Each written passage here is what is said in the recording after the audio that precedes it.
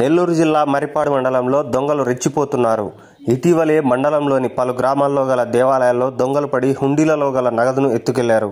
ఈ ఘటన మరవక ముందుకే నందవరంలోని ఆదర్శ పాఠశాలలో నిలిపి ఉన్న రెండు స్టూడెంట్ స్పెషల్ ఆర్టీసీ బస్సుల డీజిల్ ట్యాంకులు తాళాలు పగలగొట్టి డీజిల్ ఎత్తుకెళ్ళారు. రెండు బస్సులలో కలిసి సుమారు మూడు వందల లీటర్ల డీజిల్ చోరీ జరిగినట్టు బస్సు డ్రైవర్లు తెలిపారు.